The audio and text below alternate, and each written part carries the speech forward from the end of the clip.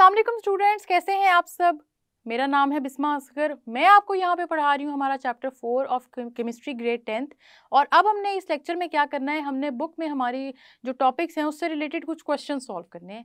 जिसमें हमने ये देखना है कि हमें जो कॉन्सेप्ट हमने पढ़े हैं, वो पेपर में किस किस तरह से पूछे जा सकते हैं। उससे रिलेटेड कुछ एम होंगे शॉर्ट क्वेश्चन होंगे जो सॉल्व करके हमें और बेहतर आइडिया हो जाएगा कि पेपर में किस तरह से क्वेश्चन पूछे जाते हैं।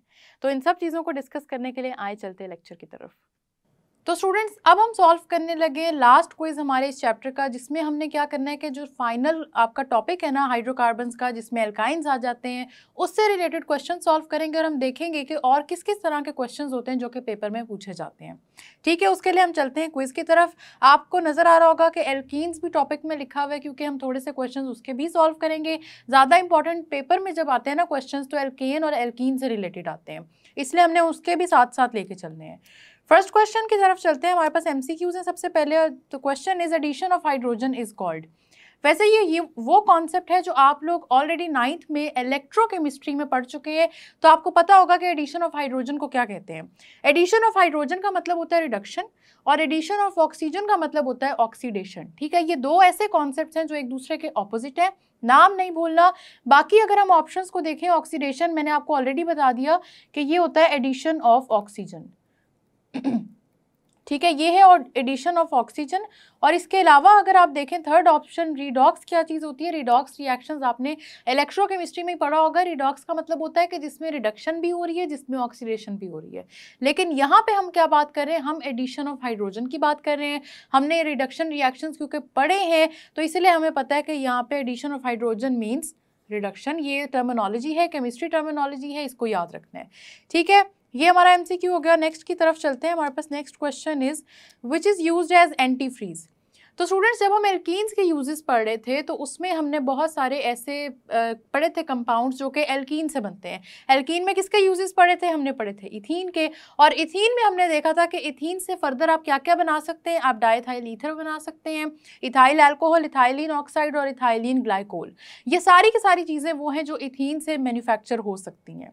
अब इन सब के यूजेस अलग अलग है, ठीक है? अगर आप डाइथाइल ईथर और इथाइल एल्कोहल जो आपकी फ़र्स्ट टू ऑप्शन है, इनकी बात करें तो ये यूज़ होते हैं एज सॉल्वेंट्स ठीक है? मैंने आपसे पहले भी कहा है कि जितने भी आपके पास पोलर सॉल्वेंट्स होते हैं आपके पास नॉन पोलर सॉल्वेंट्स जितने भी होते हैं ना, जिनमें सिर्फ़ और सिर्फ़ ऑर्गेनिक कंपाउंड्स जो कि नॉन पोलर हैं, वो डिजॉल्व हो सकते हैं, उनके नाम याद रखा करें, क्योंकि बहुत लिमिटेड से नाम है मतलब बहुत ज़्यादा नहीं है, लेकिन ये है कि आपने फ़र्स्ट ईयर में, फिर सेकेंड ईयर में इन्हीं नामों को बार बार रिवाइज करना है, ठीक है?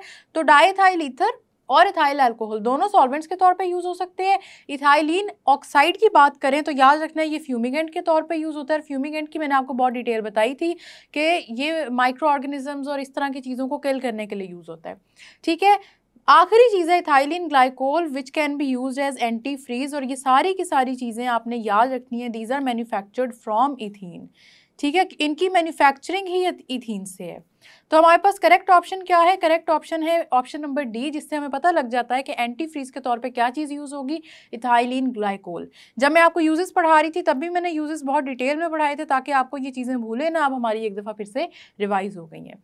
नेक्स्ट क्वेश्चन की तरफ़ चलते हैं which compound is use for welding purposes welding के लिए क्या ज़रूरत है? बहुत ज़्यादा हीट की ज़रूरत है, बहुत ही ज़्यादा फ्लेम की ज़रूरत है। ठीक है? अगर हीट नहीं है प्रॉपर फ्लेम नहीं है प्रॉपर तो इसका मतलब है वेल्डिंग का काम तो नहीं हो सकता। हमने किस चीज़ का फ्लेम पढ़ा था? हमने एसिटाइलिन का फ्लेम पढ़ा था। ठीक है एसिटाइलिन के फ्लेम में हमने क्या बात की थी कि ये एक एल्काइन है, ठीक है, जो कि जब हीट अप होता है या जब उसको आप जलाते हैं कम्बशन का प्रोसेस करते हैं तो एक्जोथर्मिक इतना ज़्यादा है वो रिएक्शन कि आप उसको वेल्डिंग पर्पजेज़ के लिए यूज़ कर लेते हैं, ठीक है?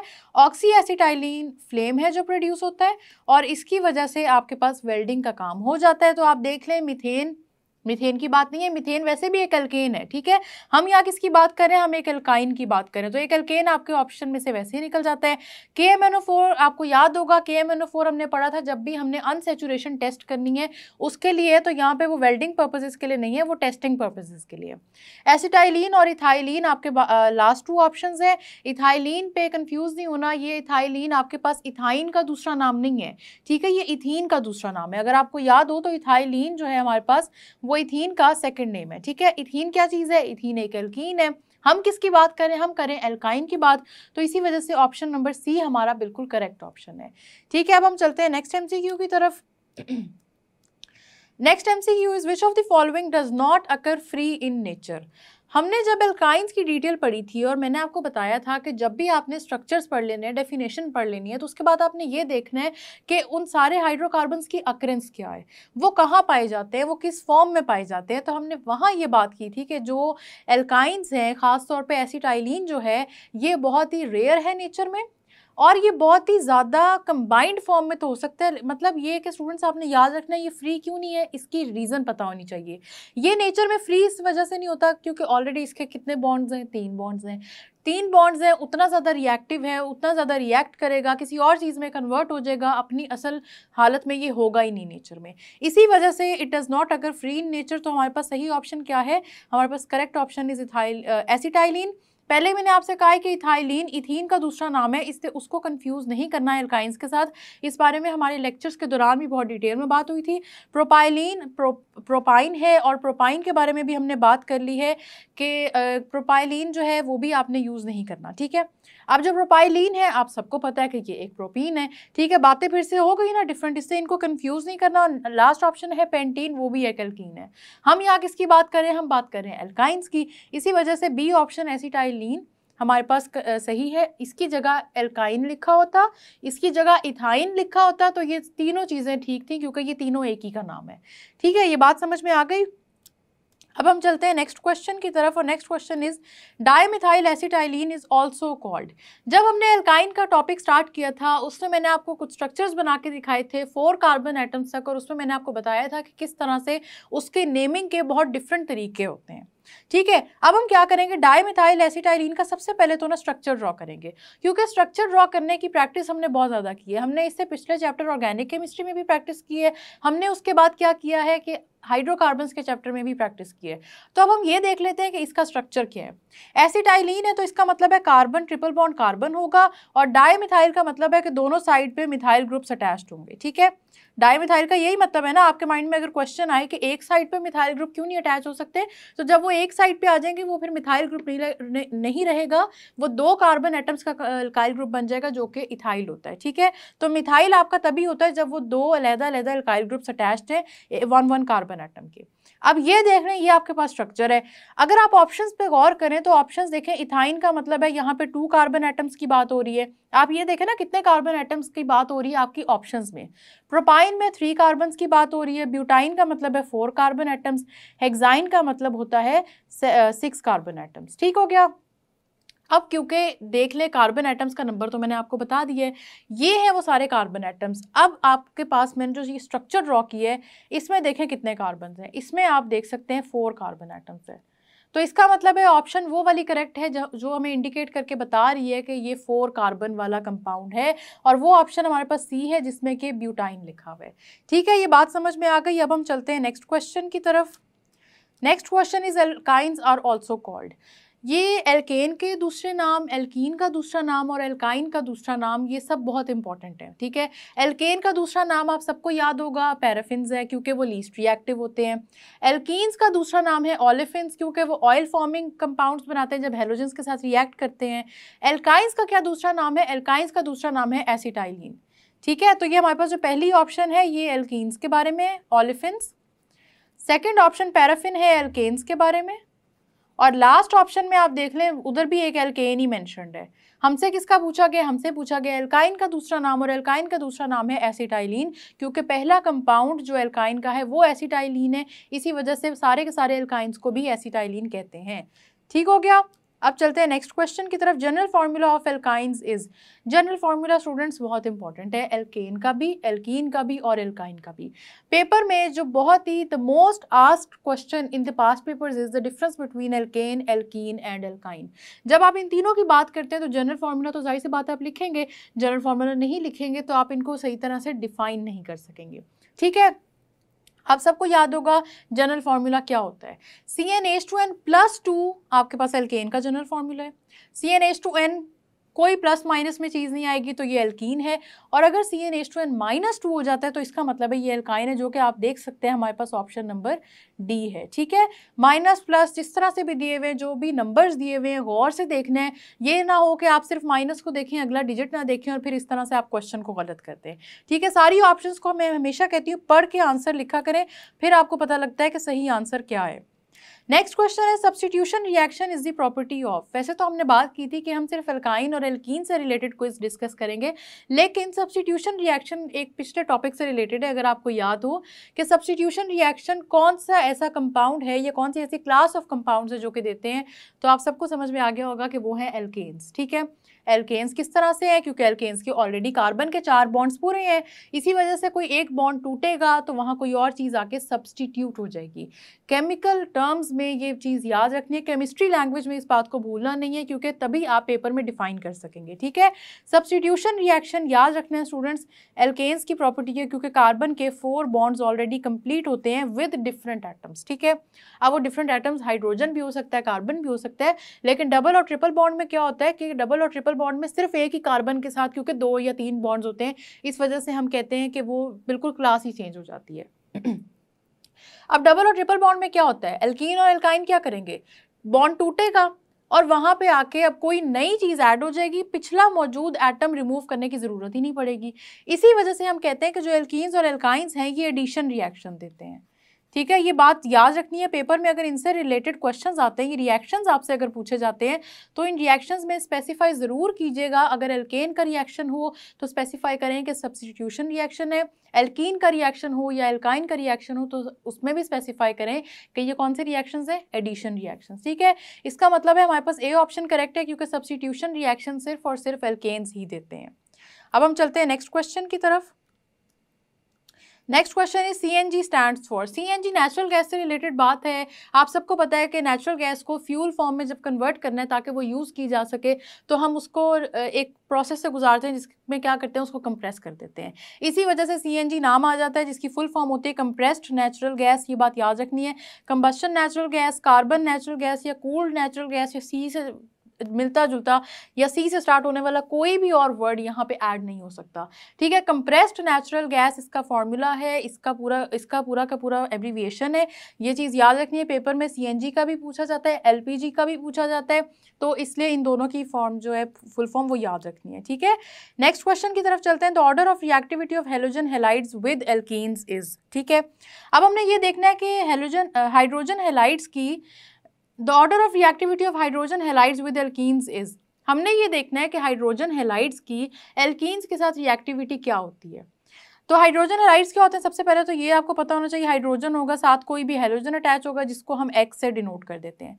ठीक है, इसकी जो रिएक्टिविटी है, मैंने आप सबको बताया था कि अगर आप हेलोजन को पीरियोडिक टेबल में देखें तो आपका जो पीरियोडिक टेबल में ग्रुप है ग्रुप नंबर सेवनटीन उसमें जो एलिमेंट्स इस फॉर्म में आते हैं, वो है पहले fluorine chlorine bromine and then iodine लेकिन अगर आप इसकी रिएक्टिविटी की बात करें तो ऑपोजिट चल पड़े, ठीक है? पहले आपके पास हाइड्रोजन आयोडाइड आएगा, सबसे ज़्यादा रिएक्टिव फिर hydrogen bromide and then hydrogen chloride H C L least reactive होगा, ठीक है? एल्कीन्स के साथ. इसी वजह से आप देख लेते हैं, इनमें से कौन सी ऑप्शन है जो इस कॉन्सेप्ट के साथ मैच करती है? फ़र्स्ट ऑप्शन देखें hydrogen iodide is more reactive than hydrogen bromide ये बात ठीक है। नेक्स्ट ऑप्शन देखें hydrogen bromide is less reactive than hydrogen iodide तो ये बात गलत है hydrogen iodide is more reactive ठीक है? H C L is more reactive than H B R H B R से ज़्यादा रिएक्टिव नहीं है एच सी एल ज़्यादा रिएक्टिव नहीं, बल्कि कम रिएक्टिव है। Last option is H B R is less reactive than H C L तो एच पी आर ज़्यादा रिएक्टिव है वी ऑलरेडी नो दैट इसका मतलब है कि हमारे पास फ़र्स्ट ऑप्शन बिल्कुल करेक्ट है। ठीक हो गया, अब हम चलते हैं आगे और हमारे पास अब जो यहाँ पे क्वेश्चन हैं स्टूडेंट्स उनमें है liquid alkanes have carbon atoms ranging from liquid alkanes की बात हम करेंगे। देखें, मैंने आपको पहले भी बताया है कि जो जैसे जैसे कार्बन का नंबर चेंज हो रहा होता है ना, वैसे वैसे इनकी फ़िज़िकल स्टेट चेंज होती है। अब जो तो फ़र्स्ट इन द सीरीज़ है बिगिनिंग में आ रहे हैं, ये सारे के सारे गैसेस होते हैं। मिडल में जाके आपके पास लिक्विड्स आ जाते हैं और जितने भी हाई मॉलिकुलर मैथ वाले होते हैं, वो सॉलिड फॉर्म में होते हैं। ठीक है? तो लिक्विड फॉर्म में क्या आपने याद रखना है? सी वन से सी फोर तक आपके पास गैसेस हैं।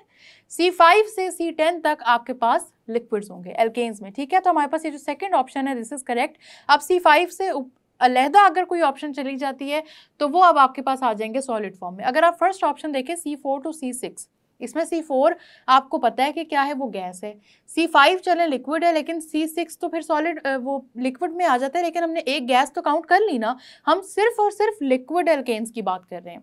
इसी तरह अगर आप थर्ड ऑप्शन देखें सी एट लिक्विड है, चलें। लेकिन उसके बाद सी एटीन तक देखें टेन से जैसे ही आप आगे जाएँगे, ये सॉलिड फॉर्म में चले जाएँगे।